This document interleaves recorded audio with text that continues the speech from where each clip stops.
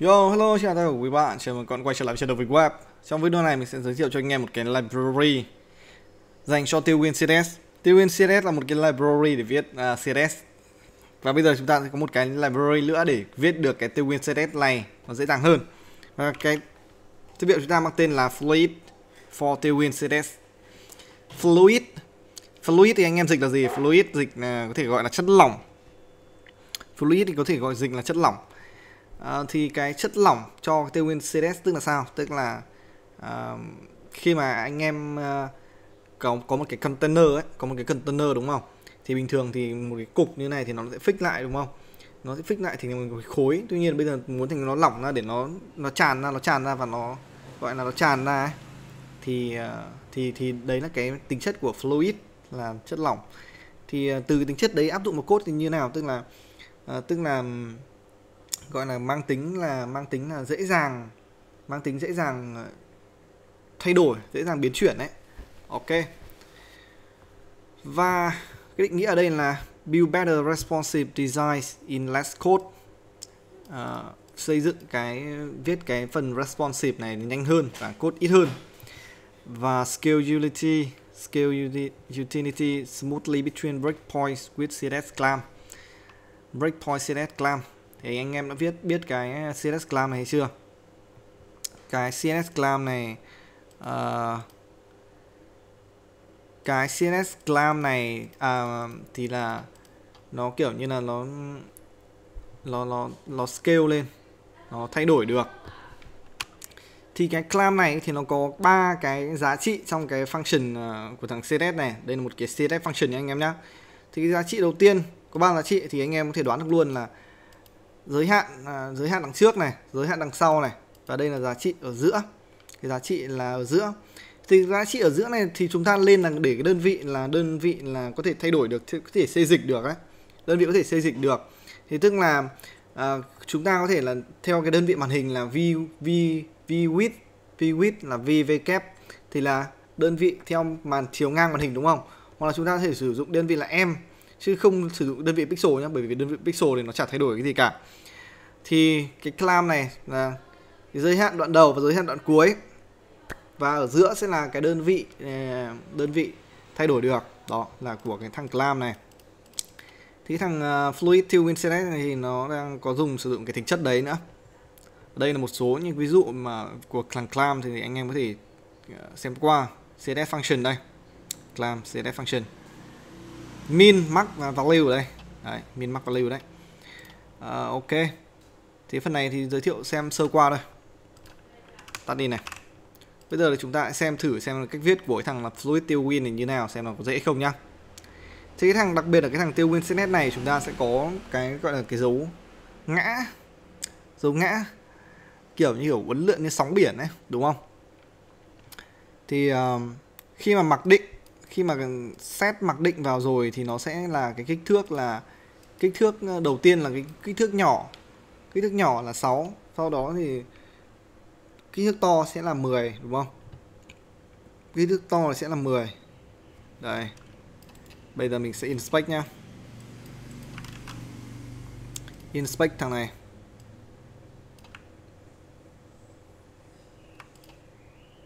Inspect thằng này, to quá cơ. Chúng ta hãy soi vào thằng này để xem cái kích thước của nó này bao nhiêu.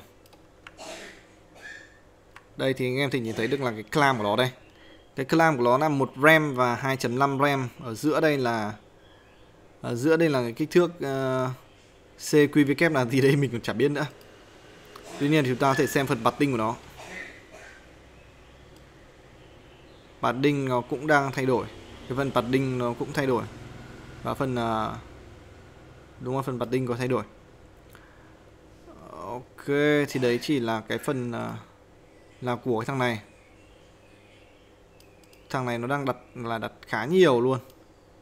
Nó đặt khá nhiều là à, uh, P6 này MD này P8 này La này P10 này. Tức là tức là khi mà chúng ta sử dụng cái cái từ P cái ngoặc này ấy, cái ngoặc à, P6 trên 10 này thì nó bằng với việc là chúng ta sử dụng là cái như này đúng không? Vậy thì chúng ta có thể thấy được là cái cách viết nó ngắn gọn hơn hoàn toàn luôn anh em ạ ngắn gọn hơn hoàn toàn luôn. Nó bằng với nhau mà. Cái này thì bằng với nhau. Đấy. Kích thước nó sẽ di chuyển đi. Kích thước là từ nhỏ nhất cho đến lớn nhất. Đó thì chúng ta có thể hoặc là ví dụ như thằng này đi. Thằng top này đi mở tôm đi, thì anh em có thể thấy so sánh được là chúng ta, cái việc này là rút ngắn hơn rất nhiều, rút ngắn cốt hơn rất nhiều. Rút ngắn cốt hơn của phần tiêu win sẽ rất nhiều. Hoặc là ví dụ như thằng này mà, xem thằng này, xem có đúng, xem có đúng công thức không nhá. Từ nhỏ nhất đây, cho đến lớn nhất đây, đúng công thức luôn.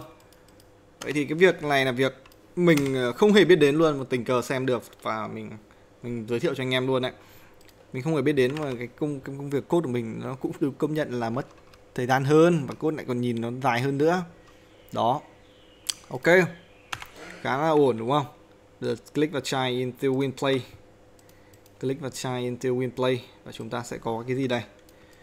Chúng ta sẽ có là uh, tailwind text uh, bay và text đến text la này. Đấy là kích thước nó sẽ thay đổi try to resolve the window.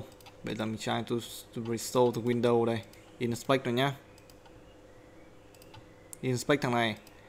Thằng này đang có phông size bao nhiêu? Hãy vào phần computed. Computed.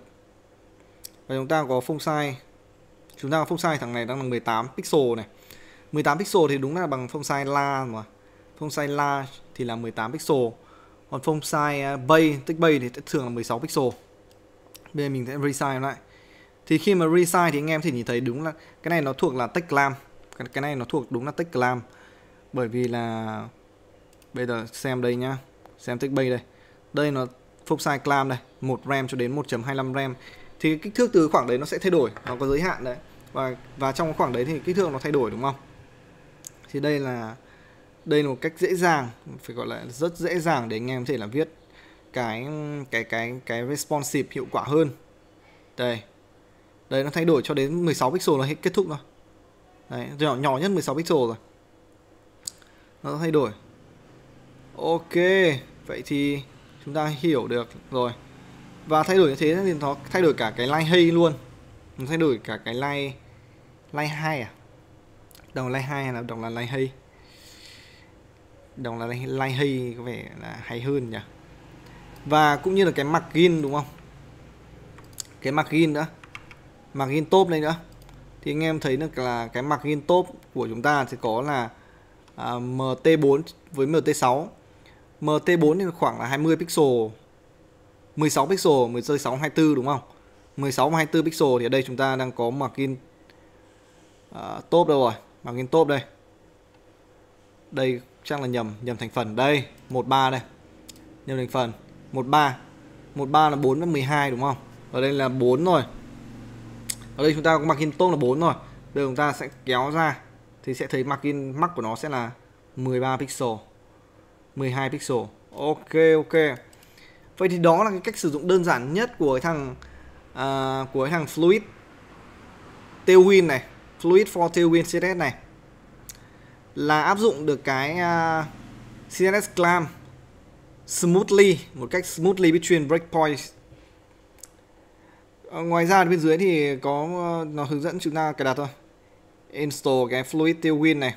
Install in uh, in dev trong phần uh, dev package và chúng ta chỉ việc thêm phần uh, cấu hình thêm một chút ở trong phần uh, tailwind CSS tailwind config ở đây. Cấu hình thêm một chút trong phần tailwind config thì chúng ta sẽ thêm plugin là fluid vào à, sau đó thì anh em có thể là limit à, chúng ta hãy xem xem phần cái limit này. Chúng ta cần phải là import thêm ở trong uh, đây chính là phần screen và phần font size đúng không? Hãy xem limitation. Thì cái này thì chúng ta có thể là từ đây thì chúng ta có thể là thay đổi được có nghĩa là chúng ta sẽ customize được cái cái cái khoảng cách, customize được cái phần screen. Chỗ này thì là sẽ là mặc định, lém vào. Ok ok. Chúng ta có basic usage. Basic usage như mình đã giới thiệu cho anh em rồi. Phần basic usage này thì rất là đơn giản. Và bây giờ là đến cái chỗ là configuration. Phần configuration thì chúng ta có default screen đây phần fluid thì chúng ta có default screen sẽ là từ cái screen uh, từ cái size nhỏ nhất cho đến cái size lớn nhất. Thì chúng ta thì đây là cái cái cái để set về cái phần fluid tức là uh, min và max đấy. Đó thì để cái phần chuyển động của anh em là, là nó như thế nào thì chúng ta có thể config được cái đấy. Tiếp theo hãy xem. Cái này thì ờ, cái này thì bỏ qua cái này thì không hiểu đâu. Cái này thì không hiểu. Tiếp theo đến phần uh, advanced. Advanced thì ở trong cái phần advanced này chúng ta có một số những cái thông tin mà mình sẽ review qua. Mình sẽ review qua để cho anh em ờ, lắm nắm được sơ sơ nhá. Và mình sẽ review qua những cái mình ờ, mình hiểu khá khá. Chúng ta có set. Đây là set được cái kích thước uh, cái cái uh, gọi là cái mắc min tùy chỉnh đúng không? Chúng ta có mắc min tùy chỉnh ở đây thì chính là từ md và large. Đây kích thước đây. Còn lại vẫn viết như vẫn viết giống như bình thường mà chúng ta sẽ có thêm cái ngã đấy. Đấy. Thế đây là cái sắc nếu như chúng ta viết nguyên là tích 4xl này đúng không? Nếu như mà mình sẽ viết là tích base 4xl này ấy, thì đây sẽ là max và đây sẽ là min. Nhưng mà cái phần max min này ấy, cái phần max min này thì nó sẽ là nó sẽ thuộc ở trong cái phần là uh, thuộc ở trong cái phần là uh, config này, thuộc ở trong phần config nhá default nhá. Đây ở đây sẽ là cái cách để chúng ta viết đè lên cái phần default đấy. Customize the breakpoints đấy viết đè lên cái phần à, default đấy nha anh em nhé ngoài ra chúng ta có thể là viết đè lên cái phần là là bắt đầu này. Còn đây là phần đè lên cái phần kết thúc thì sẽ chia nhau bằng một cái dấu uh, như này. Đây đè lên cái phần bắt đầu thì như này này xong rồi viết thêm gì thì viết. Hoặc là đè lên phần kết thúc thì như này thì xong rồi viết thêm gì thì viết đúng không? Đó đây là đè lên đây là tùy chỉnh phần đè lên. Đó anh em chú ý là khi mà uh, kết thúc thì chúng ta phải có cái dấu xoẹt này. Đấy thì cũng như là khi mà viết uh, khi mà viết như này đúng không? Khi viết như này thì chúng ta sẽ có đầu và cuối. Thì ở đây thì sẽ bỏ cái đầu đi thì còn cái cuối. Bỏ cái cuối đi thì còn cái đầu. Thì là đè lên cái phần đấy. Ok.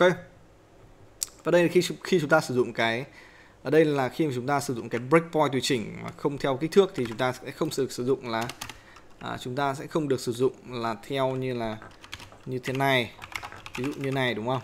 Không được sử dụng là theo cái theo cái kích thước luôn mà chúng ta sẽ sử dụng là min như này. Sử dụng là min ok. Theo min đấy. Theo min như này nhá. Được chưa? Đấy cái config tiếp theo. Tiếp theo thì chính là cái negative values. Thì cái negative value thì hoàn toàn có thể. Và cái viết thì như sau. Ờ, cách viết thì sẽ là như này thôi cũng được đúng không? Nó hỗ trợ mà. Hoặc là viết như thế này cũng được. Thêm một cái xoẹt này cũng được đúng không? Ok. Ờ, có vẻ không phù hợp lắm nhỉ?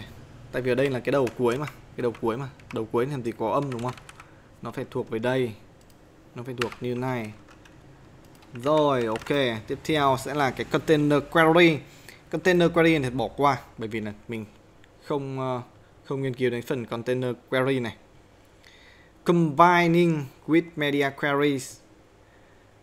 Combining with uh, media queries. Cái đoạn này á cái đoạn này khá là ảo ma Nobita tốt nhất là bỏ qua thôi anh em ạ đấy nó đang từ nhỏ này, xong rồi nó scale lên, sau đó nó lại về cái default đấy.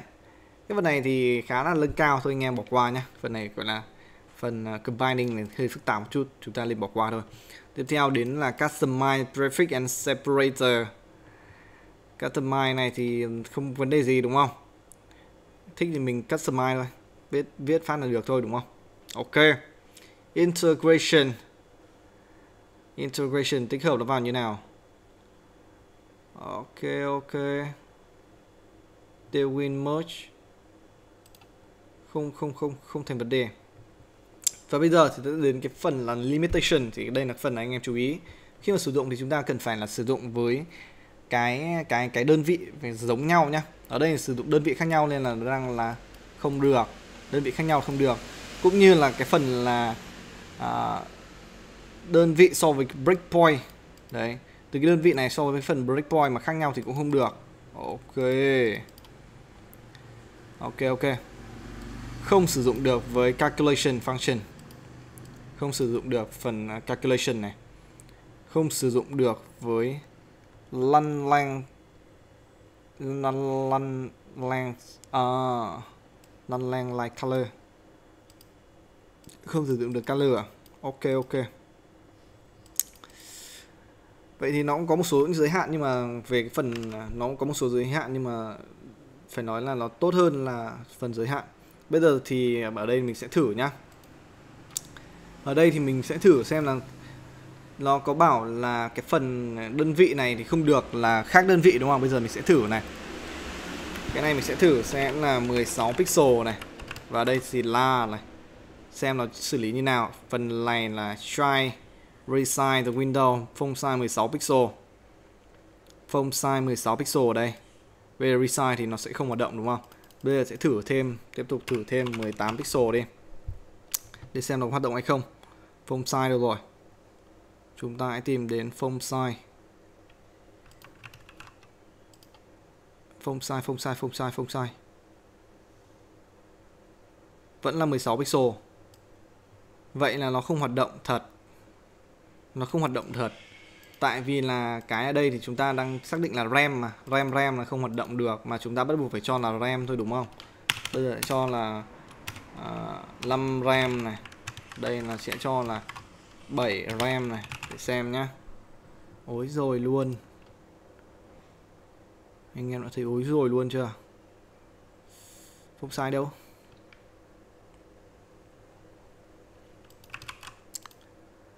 Phông sai đây rồi 112 đây rồi. Xuống xuống xuống xuống xuống. Ok ok. Vậy thì cái các cái đơn vị này nó phải bằng nó phải là cùng một kiểu đơn vị anh em ạ.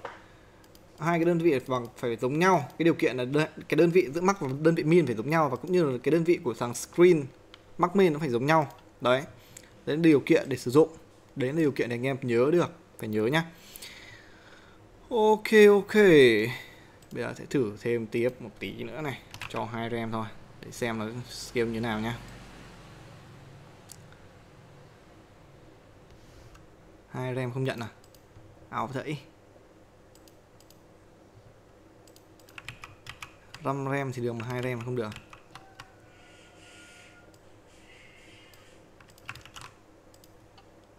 À. Hai RAM thì lại không nhận anh em ạ khá là ảo ma.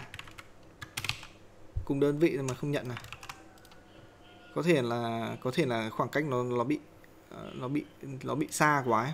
khoảng cách giữa hai cái đơn vị này xa quá nên nó không nhận. Theo như mình đoán là như vậy. Mình đang thấy là không hiểu sao nó không nhận thôi. Chọn một đi một ba thì chắc chắn nhận rồi, đúng không? Test. Không nhận luôn vẫn 16 pixel. Ảo nhỉ. Hai gem lại nhận. 4 ram xem nào. Cũng nhận. À, ok bây giờ mình sẽ thử lốt lần cuối này. Cho 8 ram này. 8 ram không nhận. Mẹ. Trời đất ạ. À. có khả năng là có khả năng là nó đang à, render ra ấy. Đây rồi. From tu 2 ram ít à, uh, 20 ram 6 ram view fail. Phần này nó đang ghi báo lỗi là fail rồi.